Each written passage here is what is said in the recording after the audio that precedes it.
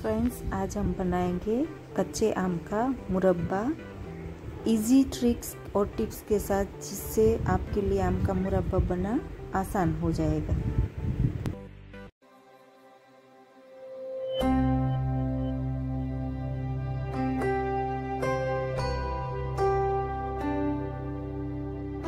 आम को रात भर पानी में भिगो के रखें ताकि उसकी गर्मी निकल जाए।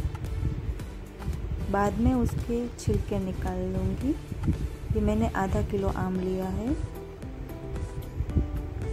अब आम को मैंने दो पार्ट में डिवाइड कर लिया है। तो मैं इसे दो पार्ट में काट लूँगी। देखिए, ये कितना थिक होता है। इसका पल्प एकदम थिक होना चाहिए, नहीं कि पतला। अब ये पार्ट में से मैं दो पार्ट करके उसमें से क्यूब शेप के छोटे छोटे टुकड़े बनाऊँगी। इसका दर थोड़ा सा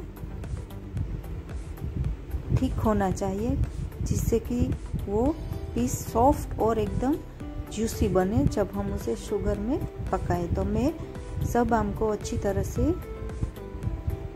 काट लूँगी। देखिए, ये आम कट के तैयार हो अब इसको हम उबालेंगे।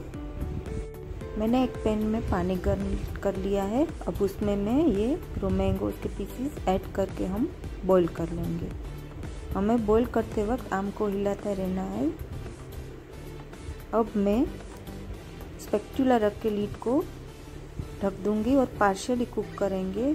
हम इसको पाँच से छः मिनट तक हम उसको बॉईल कर लेंगे।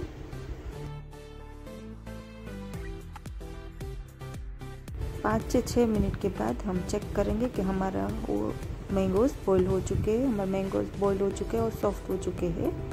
तो अब मैं इस मैंगोज में से एक्स्ट्रा वाटर को ड्रेन कर दूँगी। तो हम सारा पानी ड्रेन कर देंगे। तो हम एक स्टील की कढ़ाई लेंगे। एल्यूमिनियम की कढ़ाई नहीं यूज़ करनी है। मैंने ये मैंगोज बॉईल हुए कढ़ाई में ऐड कर दिया। अब मैंने ये शुगर ली है तीन कप्स मतलब कि 600 ग्राम शुगर है। इसका कप के हिसाब से मैंने ली है।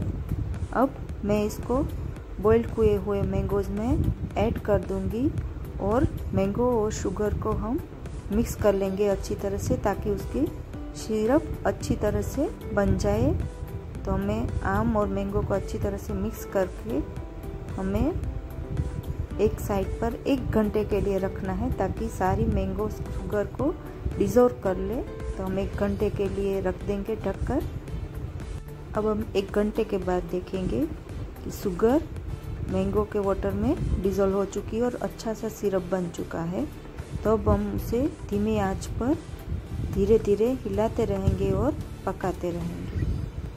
अब उसमें मैं दो दालचीनी के टुकड़े डालूँगी। तीन चार इलायची के टुकड़े डालूँगी और अब हम उसको धीमे आँच पर पकाएँगे। एक घंटे तक चीनी में मिला के रखने से मैंगोज, शुगर को ऑब्ज़र्व कर लेता है और स्वीट हो जाता है। तो उसको पकाने में भी दिक्कत नहीं होती। अब मैं एक पिंच केसर लूँगी और उसमें गरम चाशनी डाल दूँगी, जिससे कि केसर डिजोल्व मिक्स हो जाए अच्छी तरह से। अब मैं उसको एक साइड पर रख दूँगी। अब हम उसे धीमी आँच पे आठ से नौ मिनट तक पकाते रहना है, जब तक कि हमारी चाशनी उसमें ना आ जाए। धीरे धीरे पकाने से क्या होता है कि उसमें शुगर क्रिस्टल नहीं बनेंगे और अच्छी तरह से आम पक जाएँगे। अब हम उसमें भिगोया हुआ केसर ऐड कर देंगे ताकि उससे कलर और खुशबू अच्छी आएगा। केसर ऐड करना टोटली ऑप्शनल है। अब देखिए धीरे धीरे बबल्स हो रहे हैं मतलब कि चाशनी हमारी बन रही है। हमें ज़्यादा नहीं पकाना है। पर क्या है मैंगो सिरप और मैंगो का जूस ऐड होने से हमारी शुगर क्रिस्टल नहीं होगी पर एकदम जूसी ही बनेगी। जब बबल्स बने तब हमें उसके बाद मीडियम फ्लेम पर तीन से चार मिनट तक हम अब इसे पकाएँगे।